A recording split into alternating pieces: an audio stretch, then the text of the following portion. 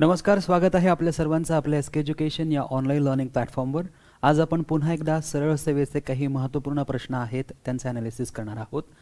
Upcoming काळामध्ये महत्त्वाच्या तलाठी एक्झाम्स येणार आहेत नोटिफिकेशन येणार आहे म्हाडा एक्झामिनेशन आहे भूकरमापक एक्झामिनेशन आहे. अशा प्रकारच्या सरळ सेवा एक्झामिनेशन समोर असताना आपल्याला सरळ सेवा क्वेश्चन्सची प्रॅक्टिस करायची आहे. त्यासाठी आपण हे लाईव्ह सेशन घेत आहोत. चला सुरुवात करूया आजच्या आपल्या पहिल्या प्रश्नाला. पहिला प्रश्न आपल्यासमोर आहे. Fill in the blank with suitable articles first sentence is will you open dot dot dot window please आता हा एक क्वेश्चन आहे आणि या क्वेश्चनमध्ये कसं केलेलं आहे? Will you open window please एक विनंती केलेली आहे एक रिक्वेस्ट केलेली आहे की तू विंडो ओपन करशील का? तू विंडो ओपन करणार का? आता जो व्यक्ती सांगत आहे की तू विंडो ओपन करणार का तो व्यक्ती. आणि जो व्यक्ती विंडो ओपन करणार आहे तो व्यक्ती. यांच्यासाठी ही जी विंडो आहे ही डेफिनेट आहे.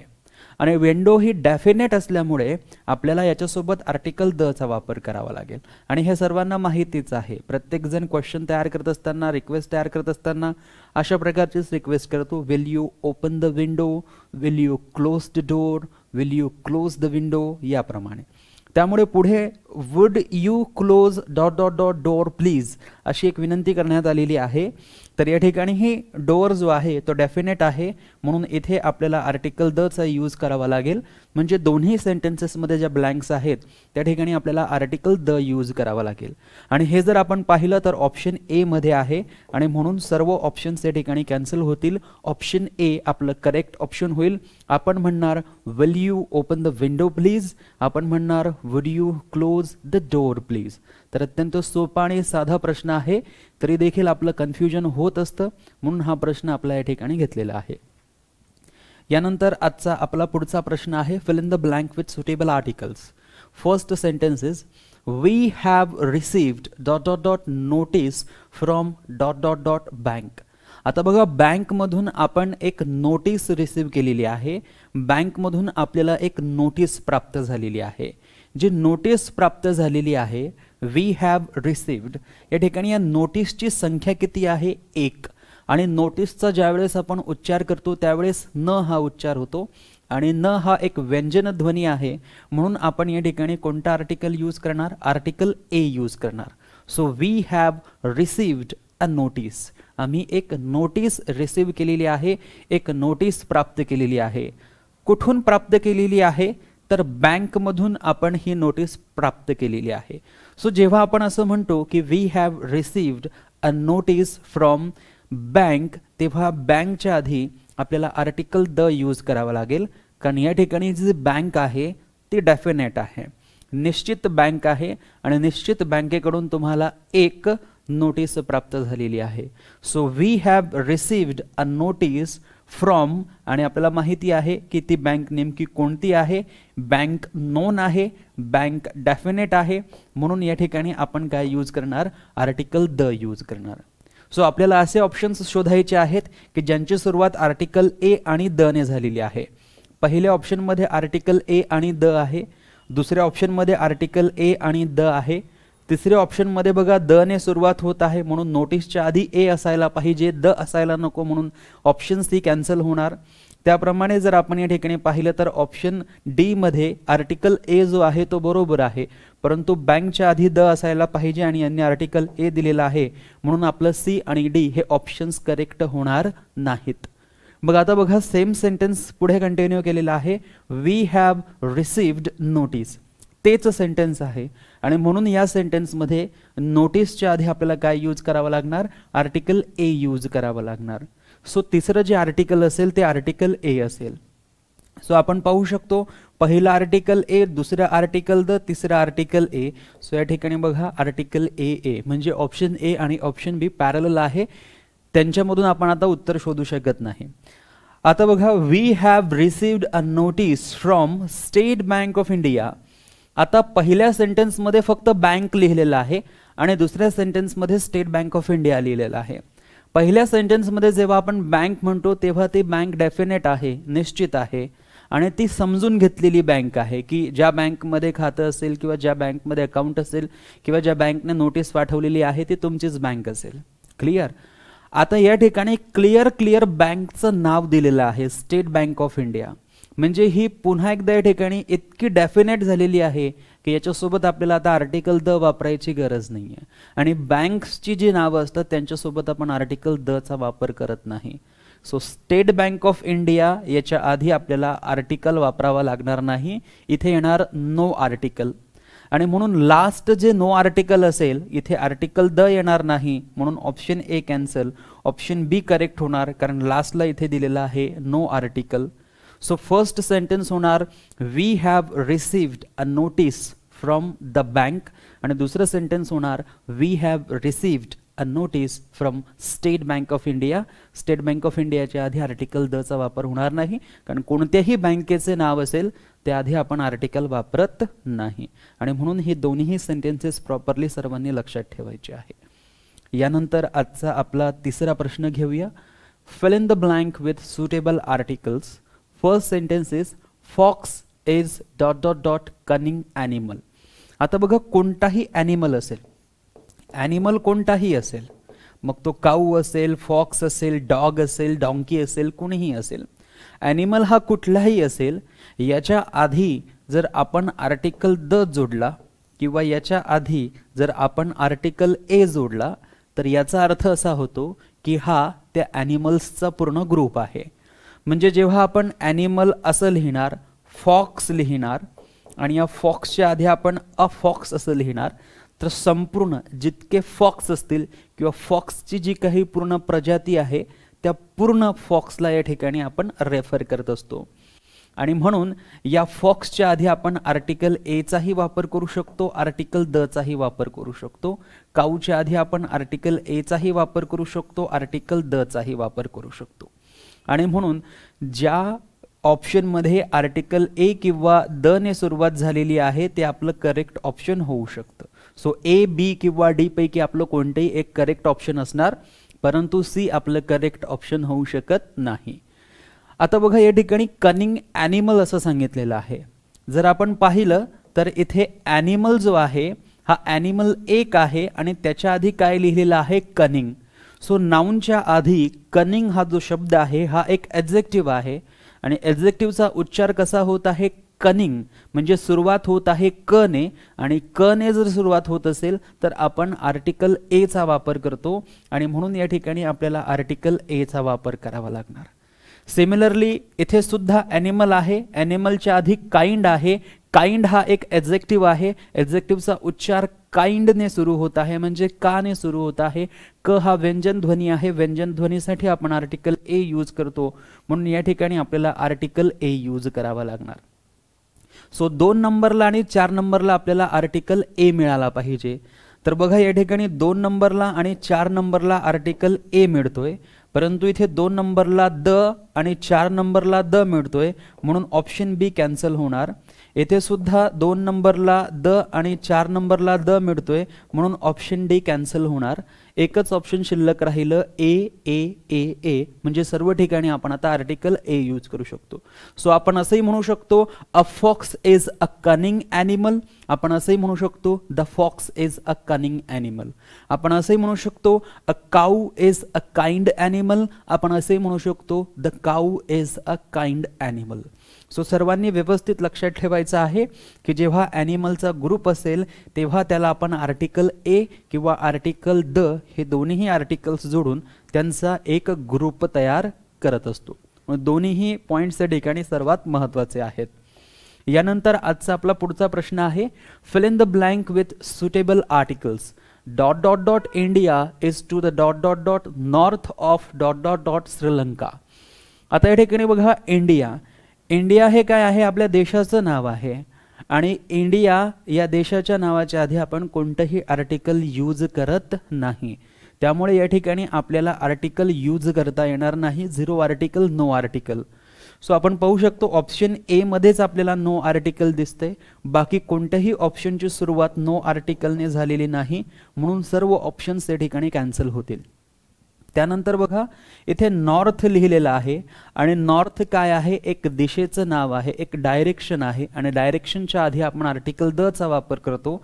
म्हणून इथे आपल्याला यूज करावा लागणार article the. So India is to the north of Sri Lanka असं आपल्याला म्हणावं लागेल. सो या ठिकाणी सेकंड आपल्याला द मिळालं पाहिजे. बघा सेकंड या ठिकाणी द हे आर्टिकल आहे. आणि लास्ट जर आपण पाहिलं श्रीलंका तर श्रीलंका हे सुद्धा एका देशाचं नाव आहे.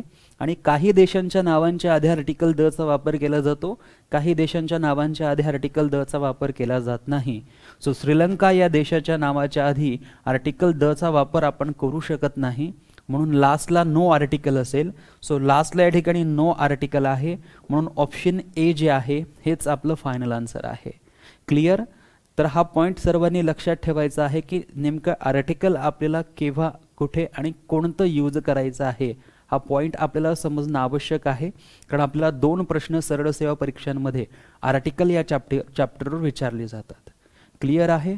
ओके यानंतरचा आजचा आपला पुढचा प्रश्न आहे fill in the blank with suitable articles dot dot dot April is the dot dot dot hottest month of the dot dot dot year आता बघा एप्रिल एप्रिल काय आहे? एक महिन्याचं नाव आहे.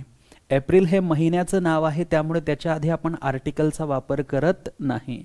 आपण जर असा विचार केला की एप्रिलची सुरुवात एने होत आहे म्हणून आपण इथे आर्टिकल ॲन वापरू तर असं होणार नाही. कोणताही महिना असेल त्याच्या आधी आपण आर्टिकलचा वापर करत नाही. त्यामुळे बघा इथे कोणतंही आर्टिकल येणार नाही. झिरो आर्टिकल येईल नो आर्टिकल येईल म्हणून ऑप्शन ए बरोबर होऊ शकतं ऑप्शन बी बरोबर होऊ शकतं परंतु सी आणि डी बरोबर होऊ शकत नाही कारण त्यांची सुरुवात ॲनने केलेली आहे आणि एप्रिलच्या आधी आपण ॲन यूज करत नाही. त्यानंतर बघा या ठिकाणी हॉटेस्ट आहे. म्हणजे हॉटला ई एस टी जोडलेला आहे. जर हॉटला ई एस टी जोडलेला असेल तर ही एक सुपरलेटिव्ह डिग्री आहे आणि सुपरलेटिव्ह डिग्रीचं जे एक्झेक्टिव्ह आहे त्याच्यासोबत आपण आर्टिकल दचा वापर करत असतो. आणि म्हणून इथे आपल्याला आर्टिकल दचा वापर करावा लागेल. सो सेकंडला आपल्याला आर्टिकल द शोधायचा आहे तर या ठिकाणी बघा आर्टिकल द यूज करावं लागेल. त्यानंतर बघा April is the hottest month of dot dot dot year तर या ठिकाणी आपण पाहिलं तर इथे आहे इयर सो इयरसाठी आपल्याला यूज करावं लागेल आर्टिकल द. सो इथे आपण यूज करणार आर्टिकल द. सो सेंटेन्स होणार आपलं April is the hottest month of the year म्हणजेच वर्षाचा जो काही हॉटेस्ट महिना आहे तो कोणता आहे? एप्रिल आहे. आणि त्यामुळे आपण इयरच्या आधी आर्टिकल द यूज करणार. ते आपल्याला ऑप्शन बीमध्ये दिसतंय. म्हणून आपलं ऑप्शन ए जे आहे हे कॅन्सल होणार. ऑप्शन बी जे आहे हेच आपलं करेक्ट उत्तर होणार. क्लिअर आहे? सर्वांनी हा छोटासा पॉईंट लक्षात ठेवायचा. त्यानंतर पुढील प्रश्न आहे Sheela decided to take dot dot dot leisurely walk in dot dot dot garden opposite to her house आता बघा शीला डिसाइडेड टू टेक शीलाने काहीतरी डिसाईड केलेलं आहे. त्यानंतर टू आहे. त्यानंतर व्हर्ब आहे टेक म्हणजे हा जो वॉक आहे हा वॉक काय आहे? नाऊन आहे. व्हर्ब नंतर वॉक हा शब्द आलेला आहे. म्हणजे वॉक हा एक नाऊन आहे. आणि त्या वॉकच्या आधी जर आपण पाहिलं तर लिहिलेलं आहे लेजरली आणि लेजरली हा एक ॲक्झेक्टिव्ह आहे. याचा उच्चार ल या व्यंजनध्वनीने होत आहे. म्हणून इथे आपल्याला आर्टिकल ए यूज करावा लागेल. So Sheela decided to take a leisurely walk dot dot dot garden opposite to her house आता या ठिकाणी बघा गार्डन आहे. आणि या गार्डनला डेफिनेट करण्यात आलेलं आहे अपोजिट टू हर हाऊस अशा प्रकारे सांगून. आणि म्हणून या ठिकाणी आपल्याला काय यूज करावा लागणार? आर्टिकल द यूज करावा लागणार. सो पहिल्यांदा येणार आर्टिकल ए आणि नंतर येणार आर्टिकल द जर आपण या ठिकाणी पाहिलं तर इथली सर्व ऑप्शन्स जी आहे ही मागच्या प्रश्नाची घेतलेली आहे. बघा तीन आर्टिकल्स दिलेली आहे याच्यामध्ये. त्यामुळे ही ऑप्शन्स कॉपी पेस्ट जशीच तशी करण्यात आलेली आहे. या ऑप्शन्सचा विचार करू नका. Sheela decided to take a leisurely walk leisurely वॉकच्या आधी आर्टिकल ए येणार आणि गार्डनच्या आधी आर्टिकल द यूज करायचा आहे. क्लिअर आहे सर्वांना? तर हाही एक अत्यंत सोपा असा प्रश्न होता. यानंतर पुढील प्रश्न पहा. Convert the following sentence into indirect speech sentence is he says Rohit is not stirring hard आता बघा या ठिकाणी ही आहे म्हणून आपल्या वाक्याची सुरुवात कशाने होणार? हीनेच होणार. आणि इथे जर आपण पाहिलं तर इथे लिहिलेलं आहे सेज इथे काय लिहिलेलं आहे? सेज म्हणजे से काय आहे? व्हर्बचा फर्स्ट फॉर्म आणि त्याला काय जोडलेलं आहे? एस जोडलेला आहे. तर हा काय झालेला आहे? सेज सो व्हर्बच्या फर्स्ट फॉर्मला जेव्हा आपण एस किंवा ई एस जोडतो तो प्रेझेंट इंडेफिनेट टेन्समध्ये असतो. म्हणजेच इथे आपण जर पाहिलं तर हा जो रिपोर्टिंग पार्ट आहे हा या सेजमुळे प्रेझेंटमध्ये आहे. आणि प्रेझेंटमध्ये असल्यामुळे हा सेज असाचा असा लिहिला जाईल या सेजचा सेड होणार नाही सेजचा सेड होणार नाही सेज जसाचा तसा राहील. म्हणून ऑप्शन ए किंवा ऑप्शन डी आपलं उत्तर बरोबर होईल परंतु ऑप्शन बी किंवा सी हे उत्तर बरोबर होणार नाही. त्यानंतर ही दोन्ही सेंटेन्सेस जोडण्यासाठी आपण दॅटचा उपयोग करतो आणि म्हणून इथे आपण दॅट लिहिलेला आहे. त्यानंतर या ठिकाणी सुरुवात रोहितने झालेली आहे म्हणून सुरुवात आपण कशाने करणार? रोहितनेच करणार. आणि आपल्याला माहिती आहे की इथे जर इज असेल तर त्याचं रूपांतर आपण वॉजमध्ये करतो. परंतु आत्ता आपल्याला असं करता येणार नाही कारण हा जो पार्ट आहे हा प्रेझेंटमध्ये आहे. आणि हा पार्ट जेव्हा प्रेझेंटमध्ये किंवा फ्युचरमध्ये लिहिलेला असतो तेव्हा पुढील सेंटेन्समध्ये टेन्समध्ये बदल करता येत नाही. त्यामुळे हा इज आपल्याला जसाचा तसा घ्यावा लागेल. मग आपण जर पाहिलं तर इथे इज बरोबर आहे आणि इथे जर पाहिलं तर इथे इज बरोबर आहे परंतु इथे सेड असल्यामुळे आपण हे सेंटेन्सेस ऑप्शन्स कॅन्सल केलेली आहे. वॉज येणार नाही वॉज येणार नाही म्हणजे ऑप्शन डी कॅन्सल झालं एकच ऑप्शन शिल्लक राहिलं ऑप्शन ए आणि हेच आपलं करेक्ट ऑप्शन होणार. ही जसाचं तसा सेज जसाचं तसा त्यानंतर दोन्ही सेंटेन्सेसला जोडण्यासाठी दॅट आला. रोहित जसंच तसं इजचा इज का घेतला? कारण हा पार्ट प्रेझेंटमध्ये आहे. हा पार्ट प्रेझेंटमध्ये किंवा फ्युचरमध्ये असेल तर पुढे टेन्समध्ये चेंज होणार नाही. नॉट जसाच तसा स्टडिंगही जसंच तसं लिहिलेलं आहे. हार्डही जसंच तसं लिहिलेलं आहे.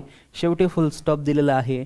म्हणजे ऑप्शन ए जे आहे ते या ठिकाणी करेक्ट आहे. क्लिअर तर हा छोटासा पॉईंट सर्वांनी लक्षात ठेवायचा जेव्हा आपला जो रिपोर्टिंग पार्ट असेल तो प्रेझेंटमध्ये किंवा फ्युचरमध्ये असेल तेव्हा.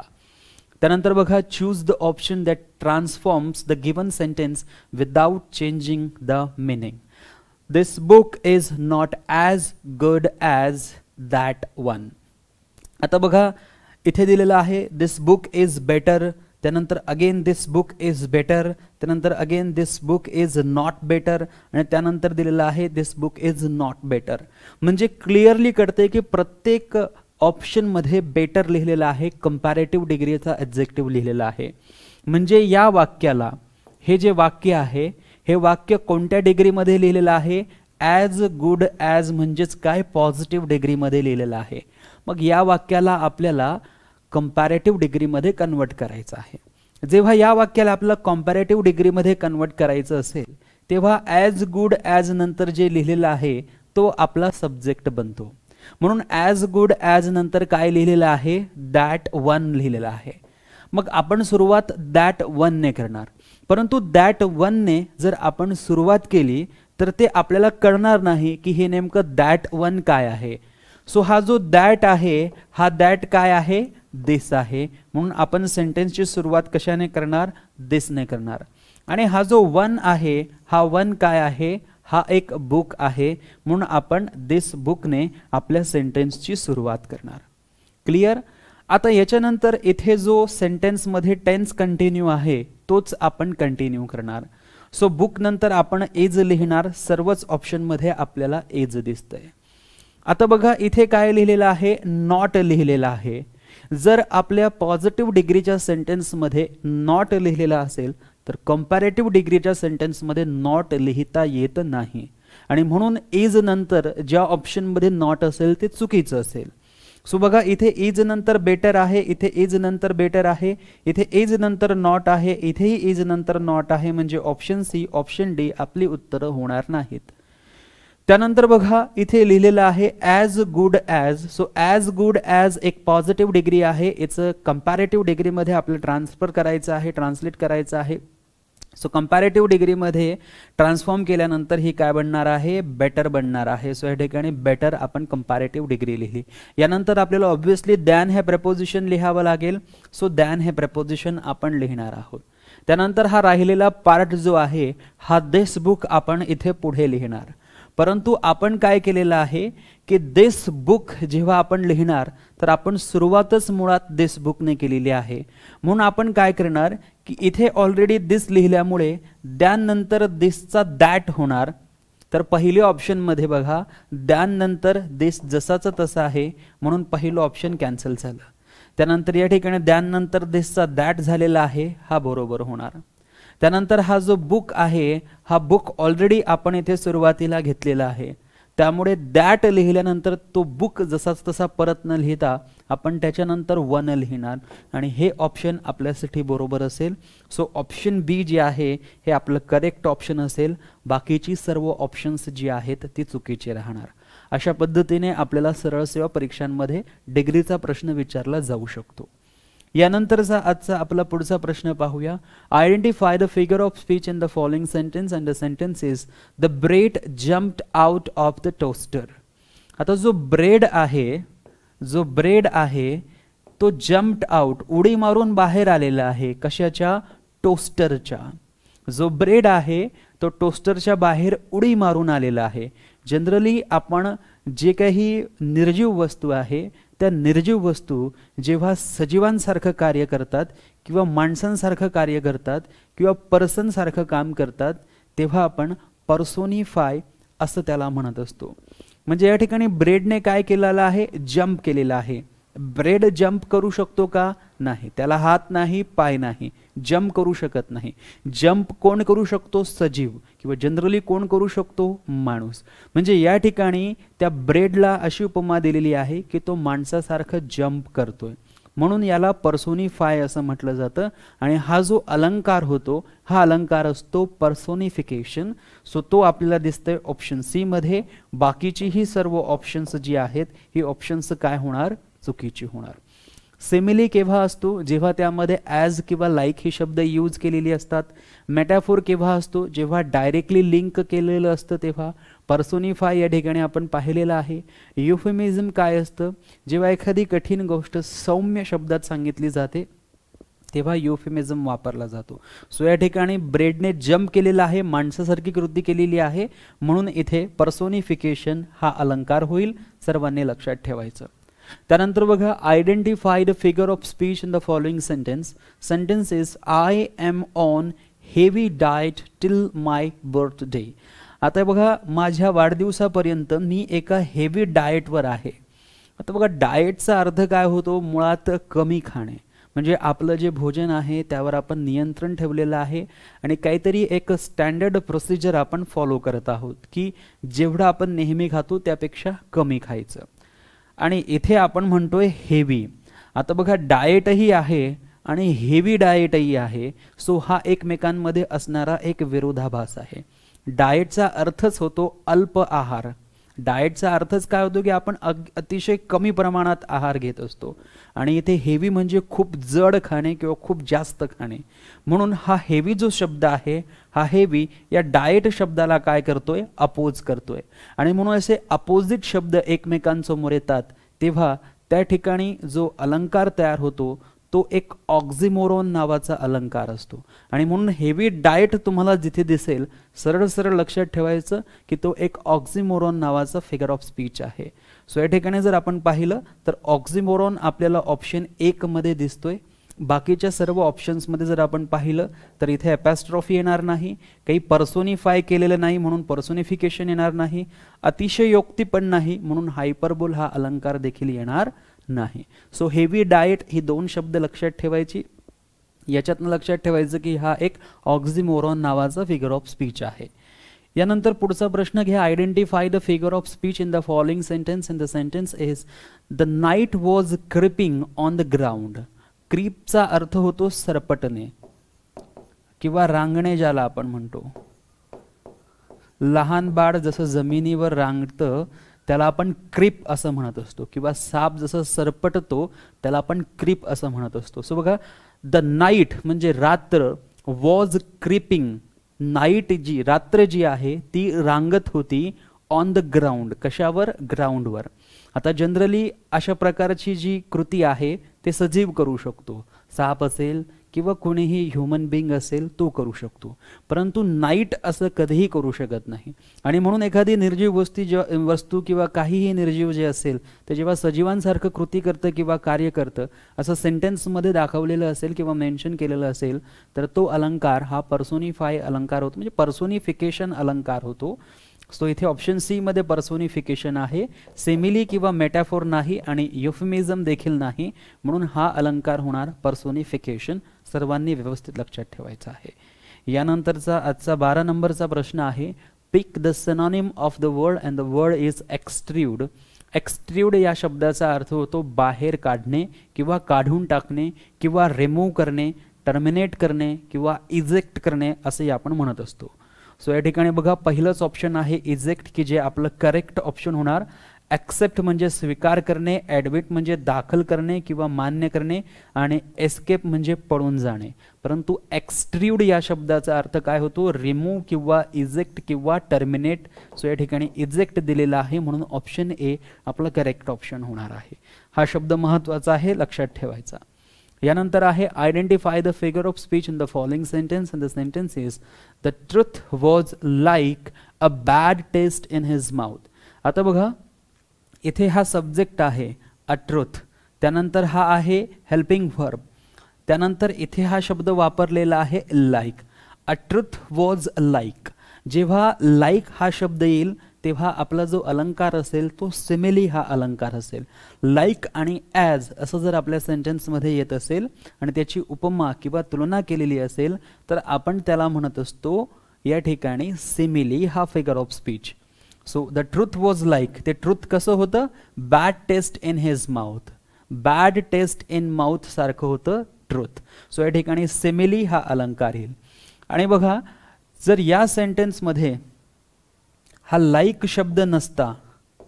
आणि जर असं असतं the truth was a bad taste in his mouth तर हा अलंकार मॅटाफोर हा अलंकार झाला असता.